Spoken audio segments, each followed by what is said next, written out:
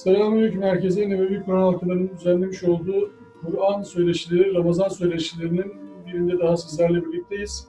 Bugün çok değerli bir hocamız bizlerle birlikte ilahiyatçı Cahit Karaal hocam. Muş'tan bizlerle bağlantıda şu anda. Hocam hoş geldiniz, sefalar getirdiniz. Nasılsınız? Hoş bulduk hocam. Teşekkür ederim. Sağ olun. Hayırlı Ramazanlar diliyorum tüm insanlık ailesiyle beraber sizlere, Muş'a, tüm yüreği güzel insanlara. Hayırlı Ramazanlar hocam. Teşekkür ederim. Allah razı olsun. Hocam bugünkü e, konu başlığımızı Ramazan ayı özelinde biraz da e, Kur'an'la e, olan irtibatımızı göz önüne alarak, Kur'an'a yönelmemizi göz önüne alarak Kur'an'dan kavramlardan seçelim istedik. Kur'an'da bahsi geçen kavramlardan bir tanesi şeytan kavramı üzerine. Şeytan kavramını, şeytan e, kelimesini Kur'an'a sorsak bize neler söylüyor hocam şeytan kavramı? Eyvallah hocam. Hocam şeytan kavramı Kur'an-ı Kerim'de toplam 86 yerde geçiyor. Ee, iblis kelimesiyle birlikte e, 11 yerde de iblis kelimesi geçmekte. Dolayısıyla Kur'an-ı Kerim'de e, azımsanmayacak kadar e, şeytan ve iblis kelimeleri geçiyor. Şeytan kelimesine baktığımız zaman Kur'an-ı Kerim'de aslında şeytan bir kişi değil, bir kişilik olarak ifade edilmektedir. Genelde e, bizler şeytanı bir kişi olarak tanırız ama bir kişilik olarak bilmeyiz. Şeytan bir kişiliktir. Sapmış bir kişilik, saptıran bir kişilik. Kur'an-ı Kerim'de şeytan ifade edilirken iki kavramla dile getirilir. Bir iblis, iki şeytan. İblis aslında şeytan dediğimiz varlığın, şeytan olarak bildiğimiz varlığın içsel bozulmasını, şeytanlilik ise, şeytan ise dışsal bozulmayı ifade eder. Yani önce bozulma işte başlar, sonra dışa doğru seyreder. Kanaatimce Kur'an-ı Kerim'de anlatılan iblis ve şeytan kelimeleri de ikisi de e, şeytanın kişiliğini anlatır. Birincisi içsel bozulmayı, diğeri dışsal bozulmayı ifade eder. Aslında karakterdir. Rivayetlere baktığımız zaman aslında İsraili rivayetlerde şeytan isminin daha önce ya da iblis isminin daha önce Azazil olduğu ifade edilir. Azazil ise Allah'ın güç verdiği, Allah'ın desteklediği anlamına gelir. Buradan da şunu anlayabiliriz. Şeytan daha önce üst bir konumdaydı, güçlü bir konumdaydı. Allah'ın destek verdiği bir konumdaydı ve o konumdan atıldı, dışarıya atıldı. Şeytanın aslında kaldıramadığı budur. O bulunduğu konumdan itilmesidir, atılmasıdır. Zaten Adem'i saptırmasının gerekçesi de budur. allah Teala'ya şunu söylemektedir. Senin beni azdırmana karşılık. Yani Allah haşa kullarını azdırmaz. O zaman kendisinin azacağı bir fiil işlenmiştir, yapılmıştır, meydana gelmiştir. O da Adem'in yaratılması. Kanaatimce iblis ümit kesen anlamındadır. Zaten Arap dili kaynaklarında da bu anlamda geçiyor. Ümit kesen yani içsel bozulma. Şeytan ise uzaklaştıran, uzaklaşan anlamındadır. Şeytan kavramında hocam bir karakterden bahsettiniz. Yani e, kişisel bozulma, içsel ve dışsal bozulmadan bahsettiniz. Şimdi genel algı olarak söylüyorum, toplum algısı olarak söylüyorum. Şeytan bir figür halinde anlaşılıyor e, toplumda. İşte e, bu İsrailiyatın çok hakim olmasıyla beraber elinde böyle bir e, çatal şeklinde bir e, değneği, arkasında kuyruğu, şapkası vesaire böyle korkunç bir görüntü. Bu algının e, gerçekliği Kur'an'a sorulduğunda var mıdır böyle bir şeytan algısı hocam? Yok. Yani aslında şöyle söyleyeyim. Yani İslam tarihinde şeytanın varlığı tartışılmıştır. Şeytan var mıdır, yok mudur tartışması. Yani bir kişilik midir, bir kişi midir yoksa bir kişilik özelliği midir şeklinde genelde Müslümanlar şeytanın varlığını kabul etmişler. Kur'an-ı Kerim'den ve hadislerden yola çıkarak kimileri de e, şeytanın aslında bir e, kişilik olduğu, bir varlık olmadığını ifade eder. Aslında ikisini birleştirmemiz gerekir kanaatimce Kur'an-ı Kerim'den anladığım kadarıyla şeytan diye bir varlık var. Bu varlığın e, yani bir e, varlığı kesin Kur'an-ı Kerim'de. Çünkü Adem'in karşısında bir varlıktır. Adem için Allah Teala diyor ki bu senin düşmanındır. Apaçık düşmanlık etmektedir. Onu ondan sakının demektedir. Ama şeytan bir kişi değil. Şeytan insanlardan ve cinlerden olabilen e, bir kişilik, bir karakter, bir özelliktir şeytanlık. E, insan şey, şeytan olabilir. Ne zaman şeytan olur? Rahman'ın zikrinden uzaklaştığı zaman.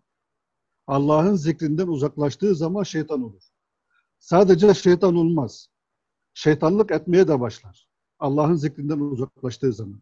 Ki Kur'an-ı Kerim'de de zaten allah Teala böyle anlatır. Rahman'ın zikrinden uzaklaşanlara şeytanların musallat olacağını söyler. Dolayısıyla şunu özetleyebiliriz. Şeytan vardır. E, tarihte vardı. Bir kişilik olarak vardı ama bir kişi değil birçok kişidir. Yani kötü olan ve kötülük telkin eden herkes birer şeytandır diyebiliriz. Evet. Peki hocam bu e, şeytan ile e, bir kıssadan bahsedilir Kur'an'da. Allah'tan izin ister. Der ki e, bana herkese hesabı çekeceğin güne kadar mühlet ver. Ve o süre içerisinde kullarını sana inanır vaziyette bulmayacaksın.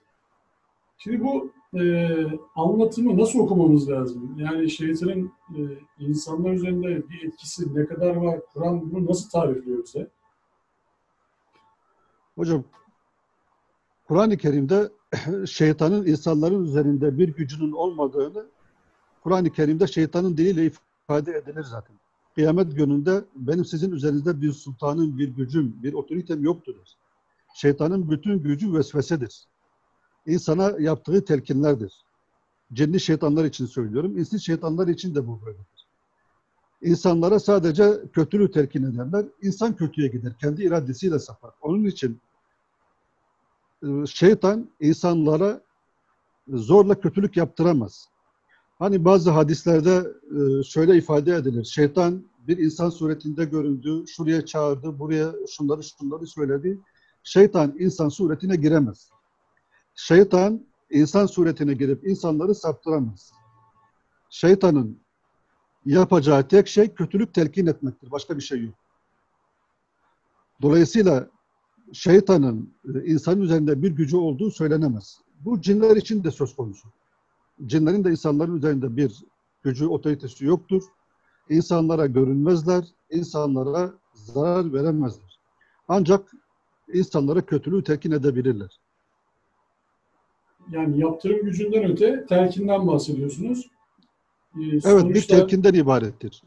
Sonuçta insanın iradesi yine hesap sorulduğu an öne çıkacak diye algılamamız El, doğru mu olur? Elbette yani insanın iradesi söz konusudur.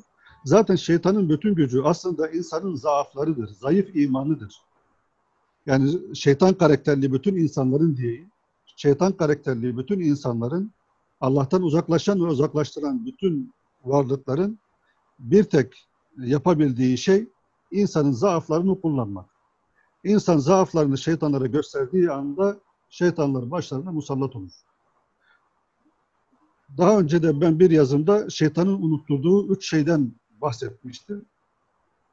Şeytan insana öncelikle şöyle yaklaşır. Allah'ı unutturarak yaklaşır. Allah'ı unutturduğu zaman insan artık şeytanın alanına girer. Ki ayetlerde de öyle söyler. Şeytan Allah'ı unutturmak suretiyle insanlara kötülük yaptırabilir. İkincisi insana kendisini unutturur. Yani şeytan kendi kendisini unutturur. Allah'ı unutturduktan sonra zaten kişiyi yalnız bırakır, sahipsiz bırakır, tek başına bırakır ve sonra onu eline avucuna alır. Ve o hale getirir ki insan artık kendini unutmaya başlar. Şeytan Allah'ı kendisini ve insanın kendisini unutturur ve böylelikle artık kişiyi kendi askeri yapar ve yoldan çıkarır. Şeytanın unutturma yollarını aslında Kur'an-ı Kerim e, anlatmaktadır. Yani bu bir sohbete sığacak bir konu değil. Yani birçok ayette anlatılıyor çünkü. Ama ilk iş yani ilk şey Allah'ın zikrinden uzaklaştırmak. Allah'ın zikri derken e, Allah'ı sadece anmak değil. insanın bilincindeki Allah'ı katletmek, insanın fikrindeki Allah'ı katletmek, sahih İslam'dan, doğru İslam algısından uzaklaştırmakla bu işe başlar. Yani bu ayartma başlığında ele alınacak bir konu. Yani ayartmanın her türlüsü şeytani güç olarak addedilse doğru bir yol olur mu hocam? Hocam sesi alamadım. Ayartıcıların e, hepsi e, şeytani güç olarak isimlendirilse doğru bir nitelendirme olur mu? Elbette, elbette. Yani bizi Allah'tan uzaklaştıracak olan fikrimizi, işimizi, endişelerimizi Allah'tan Allahsız hale getirecek olan her şey şeytani güç olarak nitelendirmek gibi mi? Ke- kesinlikle şeytani bir kuvvettir evet. Hocam bir de e, Kur'an-ı Kerim'de ayetlerde e, birçok e, şeytan bahsi geçtiği yerlerde direkt neredeyse şahıslar yani Mekke'de yaşayan şahıslar tarif edilir. Yani onlara atıfla bu söyleniyor. Bir de e, Süleyman e, peygamber kıssasında yine bir şeytanlardan bahsediyor. Yardım edenlerden bahsediyor.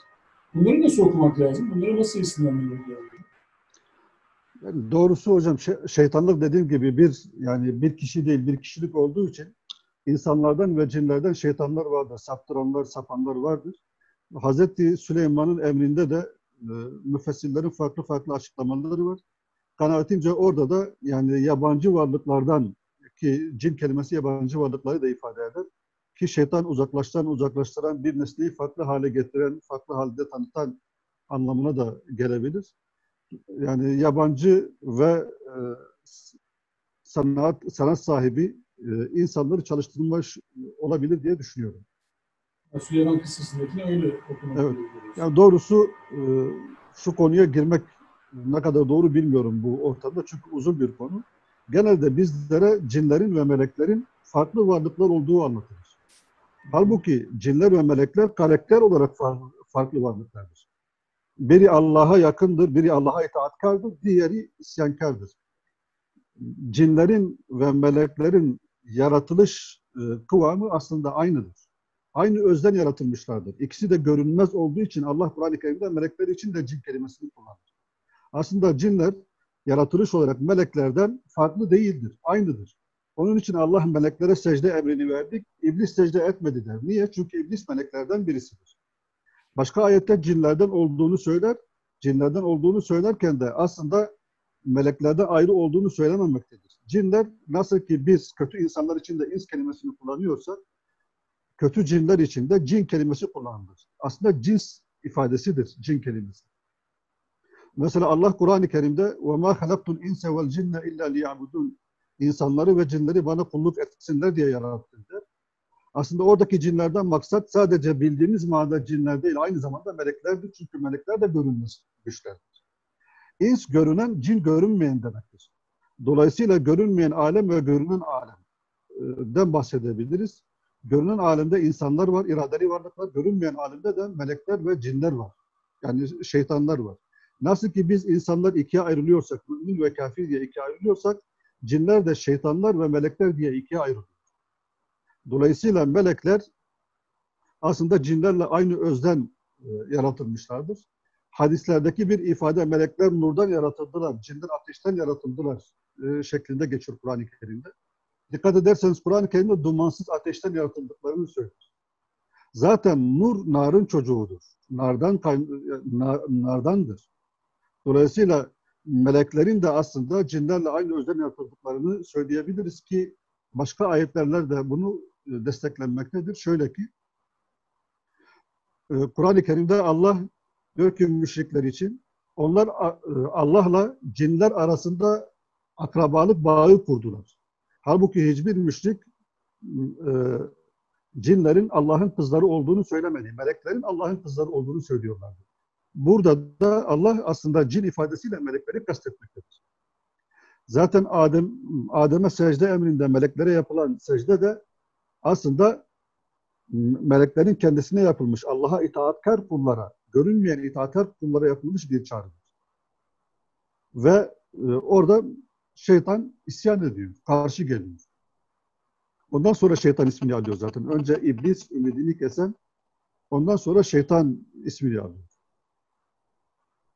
Yani burada hocam Yani sizin konu tespit- uzun ama bu konuya girmek istemezdim. Sadece şunu söylemek için e, söyledim. Melekler ve cinler aslında e, aynı varlıklar. Yapı olarak aynı varlıklar. Sadece karakterleri farklıdır. Yani biri itaatkardır, diğeri isyankardır. E, Bence iyi daha- oldu girdiniz. Çünkü şöyle, şöyle o ayet bazıları için e, şüphe sebebi oluyor. Bir yerde meleklerden de bir yerden cinlerden de denmesi şeytan için. Bazıları için şüphe sebebi oluyor. Çelişki mi var Kur'an'da acaba? Ya burada meleklerden de diyor, burada cinlerden de diye. E, çelişki bazen ben- oluyor. Ee, şunu söyleyeyim, bazen rivayetler e, ayetlere takla attırıyor diyorum. Şöyle ki, mesela biz meleklere kötülük yakıştırmadığımız için, ki kötülük yakıştırmayız zaten, şeytanın ayrı bir varlık olduğunu müfessirler ısrarla vurgulamaya çalışmışlar. Ve demişler ki orada secde emri meleklere yapılmıştı çünkü melekler çoğunluktaydı, cinler ise azınlıktaydı. Halbuki çoğunlukta olduğuna dair elimizde bir veri yok. Zandan öte hiçbir şey yok. Rivayet de yok bu konuda. Meleklerin meleklerin cinlerle aynı olduğunu söylersek aslında birçok problemi çözmüş oluruz. Mesela Allah Kur'an-ı Kerim'de hayvanların neyden yaratıldığını, insanların neyden yaratıldığını, cinlerin neden yaratıldığını söyler ama meleklerin neyden yaratıldığını söylemez. Niye? Orada bir soru işareti olması lazım. Allah insanları ve cinleri ibadet için yarattım derken aslında melekleri de ibadet için yarattı ama onları zikretmez. Niye? Çünkü cin kapsamındadır onlarda. Görünmeyen varlıklar kapsamındadır. Ki müfessirlere de baktığınız zaman cinlerle ilgili, meleklerle ilgili ayetlerde çelişkilerini çok rahat görürsünüz. Mesela şeytanın meleklerden üstte bir konumda olduğunu söylerler. Ama melek olduğunu söylemezler. Halbuki yani Azazil ismine de baktığınız zaman Cebrail, Mikail, Azail gibi isimlerden bir tanesidir. Ve Kur'an-ı Kerim'de e, daha başka yani ayetlerle de bunu destekleyebiliriz. Birçok ayet var bu konuyu destekleyen. Benim kısaca kanaatim şudur. Bütün melekler cindir ama bütün cinler melek değildir. Çünkü işlerinde şeytanlar da vardır. Ki melekler ve cinler iradeli varlıklardır. Meleklerin Allah'a itiraz etmeleri, Ya Rabbi bunun hikmeti nedir diye sormaları Adem'in yaratılışında iradelerin olduğunu, robot olmadıklarını, pro- programlanmadıklarını gösterir. Yine aynı şekilde cinlerin e, iradeleri vardır ve onlar da aynı melekler gibi, insanlar gibi seçme hürriyetine sahiptirler. Melekler Allah'a isyan edemezler denmiyor zaten Kur'an-ı Kerim'de. İsyan etmezler. Kendi iradeleriyle isyan etmezler. İsyan edemezler değil, edebilirler. Aha şeytan isyan etti. Karşı geldi. Dolayısıyla e, ayetleri e, bize anlatıldığı gibi anlayacak olursak daha sağlıklı sonuçlar elde edebiliriz diyebilirim. Yani o zaman algı bizim tasavvurumuzu oluşturan rivayetler aslında Kur'an'la taban tabana zıt, Kur'an'ın söylemediği şeyleri söyleyen, bazen İsrailiyatın üzerimize boca edilmesi sonucu ortaya çıkan değerler mi diyorsun? Kesinlikle. Yani bazen e, bu düşünceme e, itiraz ediliyor. Yani melekler ve cinler yıllardır farklı biliyoruz ama bugün aynı olduğunu söyledim. E, bunun delili nedir? Ben de yani artık en son şunu söylüyorum. Allah Kur'an-ı Kerim'de cinleri cehenneme koyacağını söylüyor. İnsanları da cehenneme koyacağını söylüyor. Peki iyi cinlerin yani anladıkları manada iyi cinler nerede? Müfessirlerimiz diyorlar ki toprak olacaklar. Bu ilahi adalete uygun değildir. Kötüleri cehenneme atacaksın. Adalet iyileri de ödüllendirmeyi gerektirir. İyiler niye toprak olsun? Halbuki cinlerin iyileri melek de ondan. Onun için Allah cinlerin iyilerinin nerede olduklarından bahsetmez Kur'an-ı Kerim'de. Hiçbir yerde bulamazsınız. Sadece kötü cinlerin yani şeytanların yakılacaklarından bahseder. Dolayısıyla bu bilgi bile aslında cinlerin ve meleklerin aynı varlıklar olduğunu ifade ediyor. Bunu şunun için anlattım. Yani insan iyiyken kötü olabilir. Nasıl ki şeytan iyiydi, kötü oldu. Bir melekti, kötü oldu. Dolayısıyla insan da iyiyken kötü olabilir. Onun için biz şuna dikkat etmemiz lazım. Şeytan Kur'an-ı Kerim'de yolunu tarif ederken der ki ben doğru yolun üstünde oturacağım. Doğru yolun üstünde oturacağım. Sırat-ı müstakim. Bu ne demektir? Yani şu demektir. Şeytan doğrudan saptırmazsa doğruda saptırır. Bu önemli bir ifade. Doğrudan saptırmazsa doğruda saptırır. Yani senin ayağını tamamen kaydırmazsa o zaman senin ayağını bulunduğun yolda kaydırır. Onun için herkesin her gün kendini sorgulaması lazım. Ben doğru muyum? Ben doğru yapıyor muyum? Yaptığım işler vahyin verisinde doğru bilgiler midir? Doğru sözler midir? Doğru eylemler midir diye düşünmesi, kontrol etmesi lazım. Çünkü Kur'an-ı Kerim'de bize şeytan ve şeytanlar apaçık düşmanlar olarak ifade edilir. Aslında şeytan apaçık değildir. Eylemi apaçıktır. Düşmanlığı apaçıktır. Şeytanların düşmanlığı apaçıktır. Aslında apaçık olması insanın fıtratıyla ilgili bir şeydir. Biz bir kötülüğü gördüğümüz zaman fıtratımız hemen reddeder, kabul etmez. Onun için Allah şeytanın düşmanlığının apaçık olduğunu söyler. Yoksa şeytan apaçık değildir, görünmemektedir, görünmez. Sırat-ı müstakimde oturması da bize şunu gösterir. Yani şeytanı hep kafirlerde, hep müşriklerde aramayın. Bazen şeytanlar sizin içinizde de olabilir. Bazen insanlar sizin içinize de sizi saptırabilirler. Buna dikkat etmemiz lazım. Onun için bizim şeytandan daha çok, özellikle söylüyorum, şeytandan daha çok şeytanlaşma mantığına dikkat etmemiz lazım. Şeytanlaşma mantığına dikkat etmemiz lazım. Bakın bir, Kur'an-ı Kerim bize şeytanlaşma mantığını nasıl anlatıyor?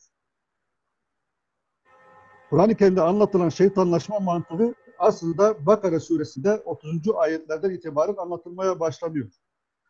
Dikkat ederseniz orada üç tane savunmadan bahsedilir. Bir, meleklerin savunmasından. iki Adem'in savunmasından. Üç, şeytanın savunmasından bahsedilir. Melekler kendi Rab, Allahu Teala kendi, yeryüzünde bir halife yaratacağını ifade ederken soruyorlar. Amaçları isyan etmek değil, gerçekten bilmedikleri için soruyorlar. Hikmetini soruyorlar. Biz seni tesbih edip dururken, biz senin emrine amadeyken, biz her emrini yerine getirirken, neden yeryüzünde kan dökecek, olup olup kan dökecek, fesat yapacak birisini yaratacaksın? Allah da onlara diyor ki sizin bilmediğinizi bilin. Sizin bilmediğiniz şeyler var, bilginiz kıt. Susuyorlar. Senin bildirdiğinden başkasını bilmeyiz diyorlar hadlerini biliyorlar. Adem'e Allah emir veriyor. Şeytan senin düşmanındır. Sakın şu ağaca yaklaşma. Bu ağaçtan yeme. O ağacın ne olduğunu ayrı bir sohbet konusu belki yapılabilir. Ama e, şu an konumuz bir yasak belirtiliyor. Hazreti Adem şeytana uyarak, şeytanın kandırmasına uyarak sapıyor ve kendisini savunurken de şunu söylüyor. Ya Rabbi öyle Hazreti Havva biz kendimize zulmettik. Sen bizi affetmez, bağışlamazsan zalimlerden oluruz. Hemen günahlarını itiraf ediyorlar, ısrar etmiyorlar, kendilerini savunmuyorlar. Biz şundan şundan olmuştuk, şeytana uymuştuk demiyorlar. Üçüncü savunma şeytanın savunması. İşte bu savunmada şeytanlaşma mantığı ortaya çıkıyor. Şeytan diyor ki sen onu bana üstün kıldın. Sen onu bana üstün kıldın. Ben ise ondan üstünüm. Ben ateştenim, o topraktandır. Dolayısıyla ben ondan üstünüm. Aslında şeytanın sapması şurada başlıyor. Vahyi yanlış algılamasıyla başlıyor. Bu önemlidir. Vahiy yalgın, yanlış algıladı. Aslında Allah Adem senden üstündür ona secde et dememişti. Şeytanın sapması orada başladı. Şeytan üstte olmayı ile üstünlüğü birbirine karıştırdı. Bir insan üstte olabilir. Cumhurbaşkanı, başbakan vesaire olabilir ama üstün olduğu anlamına gelmez. Şeytan üstte olma ile üstün olmayı birbirine karıştırmıştı. Vahiy yanlış algılamıştı. Ön yargılı bir okumaya tabi tutmuştu vahiy. İhtirasları vardı çünkü. Aslında vahiy olduğu gibi algılasaydı hem melekler gibi haddini bilirdi hem Hazreti Adem ve Havva gibi suçunu itiraf eder. Ama ne yaptı? Ne haddini bildi, ne suçunu kabul etti. Aksine suçu Allah'a attı. Dedi ki sen beni azdırdın. Sen beni yoldan çıkardın. Kendi hatasını kabullenmedi.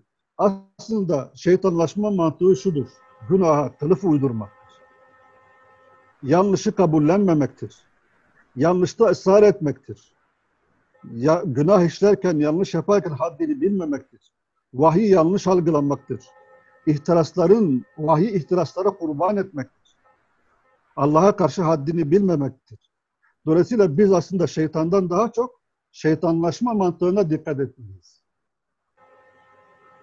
Yani bizim e, anlattıklarınız aslında e, sanki bugün birçok kişi tarafından yapılanlar birçok kişinin ruh halini yansıtıyor. Yani şeytandan öte sanki birçok kişinin tasavvurunu bize anlattınız. Yani Kur'an Aynen öyle. öyle çıkıyor.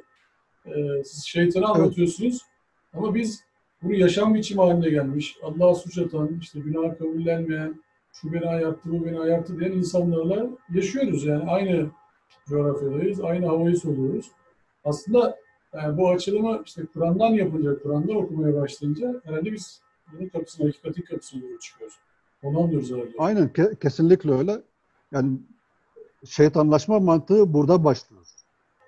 Ve Kur'an-ı Kerim'de Allah bize şeytanı ifade ederken e, resmi sıralama için söylüyorum. Bakara suresinde anlatılır. Bakara suresinde anlatılan aslında şeytanın neyden yaratıldığı, nasıl yaratıldığı, Adem'in nasıl yaratıldığı değil. Adem'in nasıl saptığı, meleklerin insan hakkındaki düşünceleri ve şeytanın insan hakkındaki düşünceleri. Kur'an-ı Kerim'de ilk burada bunları bize anlatıyor. Şeytanın bize karşı beslediği his nedir? O kin nereden kaynaklanmaktadır? O kinin sebebi nedir? Melekler bizim hakkımıza ne, ne düşünmüştü? Ve biz ne yaptık? Tarihimizi anlatıyor. Ve aslında tarihimizi anlatırken, Hazreti Adem'i bize anlatırken aslında bize bir de bir mesaj veriyor. Ataları gözünüzde çok büyütmeyin. Atalar da yanlış yapar. Aslında insanların en çok saptıkları nokta ataların noktasıdır. Milliyetçiliktir, kavmiyetçiliktir. Geçmiş büyüklerimiz böyle mi demişti, böyle mi yapmıştı, öyle miydi sözleridir. allah Teala Kur'an-ı Kerim'in daha başında, daha Bakara suresinin 30. ayetlerinde bize şeytanı, melekleri ve Adem'in aralarındaki o olayı anlatarak bize şu mesajı veriyor. Sakın ataları gözünüzde büyütmeyin, geçmişi gözünüzde büyütmeyin. Atalar da yanlış yapar. Mesajını veriyor. Ve şeytanlaşma mantığını daha Kur'an'ın başında bize anlatır. Şeytanlaşma mantığını anlatır. Melekler Adem ve şeytanı anlatırken aslında bize şunu söylüyor. Bir, melekler gibi eksik bilgiyle hareket etmeyin. İki, Adem gibi yanlış yaptığınız zaman hemen yanlışınızdan vazgeçin. Üç, şeytan gibi günahta ısrar etmeyin. Vahiy yanlış okumayın. Yanlış algılamayın. Algıladığınızın peşinde koşmayın. Daha Kur'an'ın başında Allah bu mesajı bize veriyor. Daha önemlisi Kur'an'ın hatimesi olan Nas suresi. Kur'an-ı Kerim'in hatimesi diyorum ben Nas suresine, sonucu diyorum Nas suresi için. Nas suresinde Allah bize şeytanlardan nasıl sakınmamız gerektiğini öğretiyor. Dikkat edin Kur'an-ı Kerim üç kul ile bitiyor. İhlas suresi, Felak suresi ve Nas suresi. Allah Kur'an-ı Kerim'i üç kulu ard arda sıralayarak bitirir. Aslında bir insanı siz kul, kul, kul dediğiniz zaman, üç kere söyle, söyle dediğiniz zaman ona çok önemli şeyler söyletiyorsunuz. Aslında Allah'ın kul demesi bize hakikati söyletmesidir. Yani Kur'an'ın sonuna geldiniz. Kur'an burada son buluyor ama hayat son bulmuyor. Kur'an'ın bittiği yerde hayat devam ediyor. Dolayısıyla siz Kur'an'dan öğrendiğiniz bütün bu gerçekleri hayata aktarmanız lazım. Nasıl? Bir Allah'ı ilah kabul ederek, Allah'ı Rab, Melik ve ilah kabul ederek şeytanla mücadele edebilirsiniz. Şeytanlarla mücadele edebilirsiniz. Bu şeytanlar gizli güçler de olabilir, aleni güçler de olabilir. Görünen ve görünmeyen güçler de olabilir. Cinlerden de olabilir, insanlardan da olabilir. Ki Kur'an-ı Kerim'in indiği şartlarda, ilk indiği dönemlerde, Nas suresinin indiği ortama baktığınız zaman Allah'ın o dönemin Ebu Cehillerini, Ebu Leheb'lerini şeytan olarak nitelendirdiğini, Vesasul Hannas olarak nitelendirdiğini de söyleyeyim. Evet. Çünkü onlar da planlar kuruyorlar, onlar da gizli işler yapıyorlar. Aslında Kur'an-ı Kerim başta bizi şeytanla uyarıyor, sonda da bizi şeytandan sakındırıyor. Ve şunu söylüyor. Şeytan gizli iş yapar. Şeytanlaşanlar aleni iş yapmazlar. Bütün şeytanlıklarına kılıf uydururlar, süslerler ve sizlere öyle yanaşırlar. Sinsidirler. Her zaman sizin bir açığınızı ararlar. Zaaflarınızı tararlar. Ve zaaflarınız üzerinden sizlere bir şeyler empoze ederler. Sizin kurtuluş yolunuz üç. Rab olarak Allah, Melik olarak Allah, ilah olarak Allah'ı kabul ederseniz şeytanlarla mücadele edersiniz. Eğer bugün biz kevni şeytanlarla mücadele edemiyorsak, insi şeytanlarla mücadele edemiyorsak, gizli güçlerle mücadele edemiyorsak Allahu Teala'yı bu üç özelliğiyle hayatımızda yaşadığım, yaşamadığımız içindir. Ona sığınmadığımız içindir. Dikkat edin ayette sığının diyor. Şeytandan Allah'a sığınmak sadece sözle değildir, eylemledir, hayatladır, bilinçledir. Dolayısıyla biz hayatımızı şeytanların kucağına atmışız. Auzu billahi mineşşeytanirracim diyoruz. Böyle bir sığınma mümkün değil. Bu Allah'ı anarken şeytana kaçmaktır. Kesinlikle. Hocam hakikati doğru algılamak, vahyi doğru algılamak tespitiniz çok e, doğru, çok yerinde.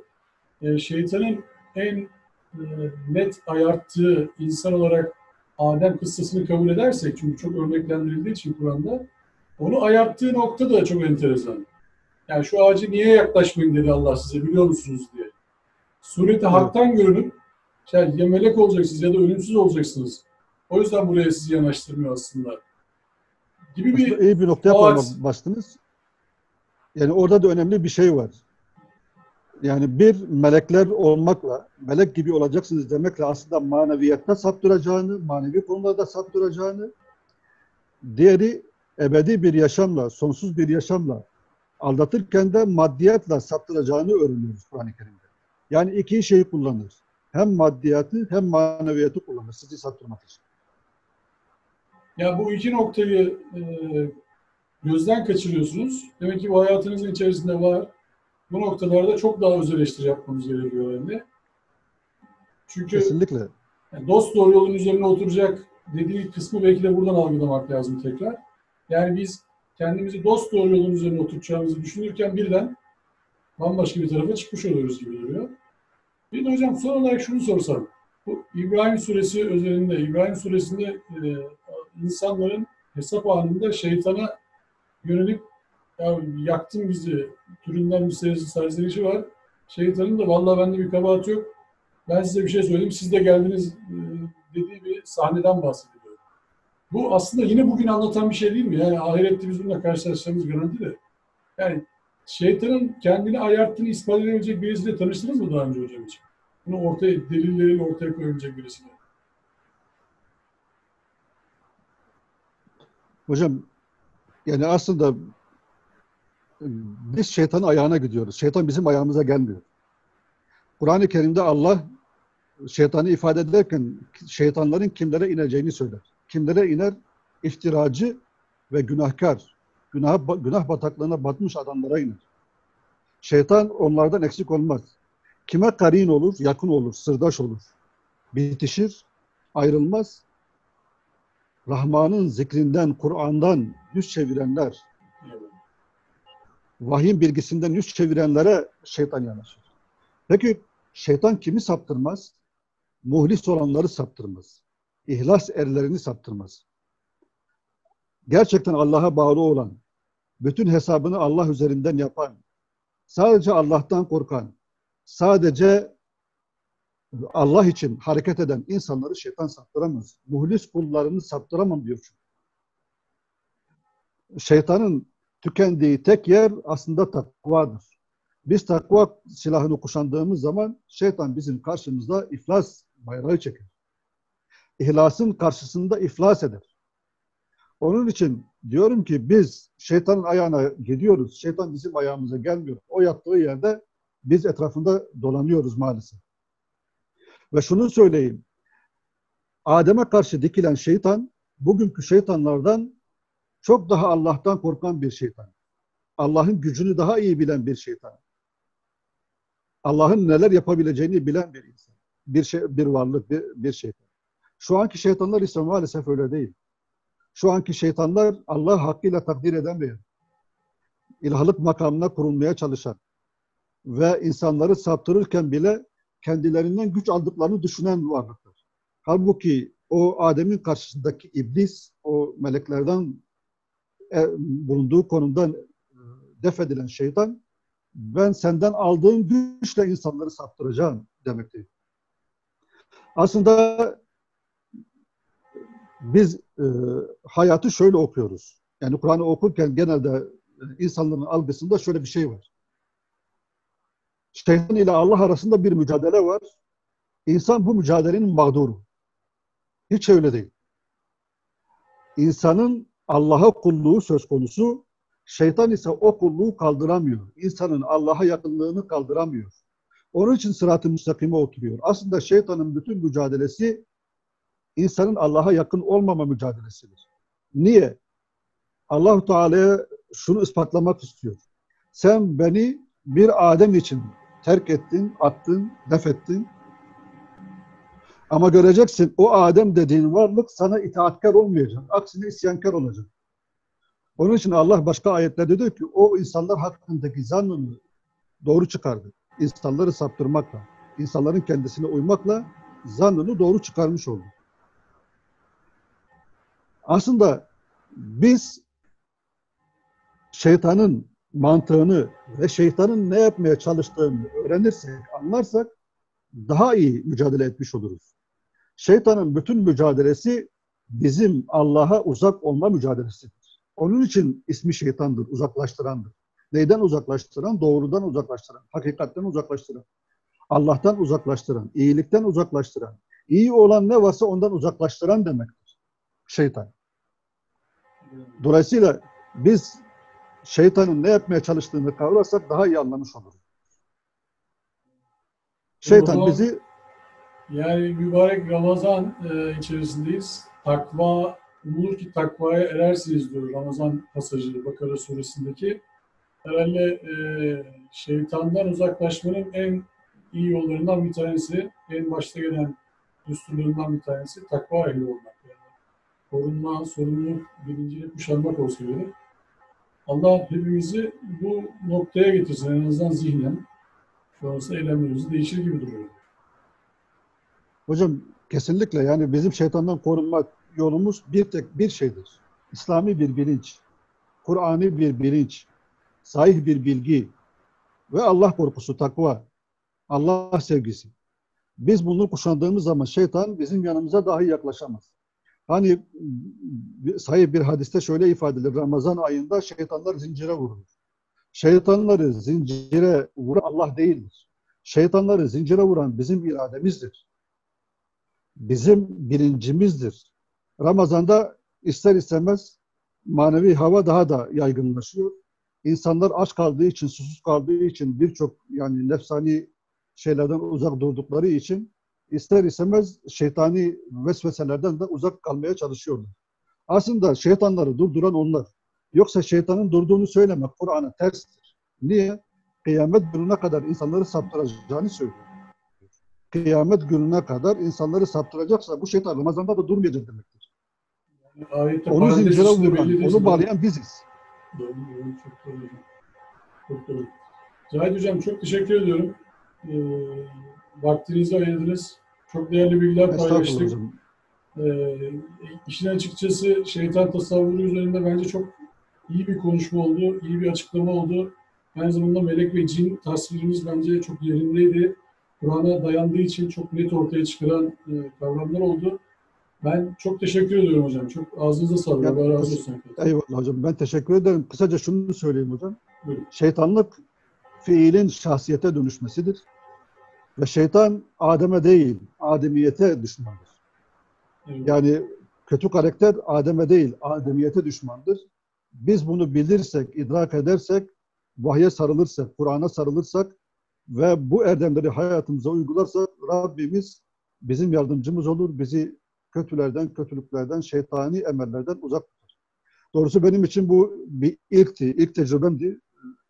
Bir hatam varsa, bir yanlışım varsa dinleyicilerden özür diliyorum. Sizden de özür diliyorum. Benim için bir ilkti. Ee, inşallah Rabbim bizi e, hayırlı bir bayrama eriştirir. Bu virüsten de bizleri kurtarır. Ee, ve bu virüsün arkasındaki şeytanlardan da bizleri emin kılar inşallah. İnşallah. Ben Hocam- bütün dinleyicilere selam ediyorum. Aleykümselam. Allah'a emanet olun. Bütün Kur'an talebelerinin de sizlere selamı var. Tüm Muş'taki kardeşlerimize selamı var. Sizin vasıtanızla iletmiş. Aleykümselam. Ömrünüz Ramazan olsun, ahiretiniz bayram olsun Cahit Hocam. Allah'a emanet olun. Amin hepimizin inşallah. Teşekkür ederim. Çok sağ olun. Görüşmek üzere.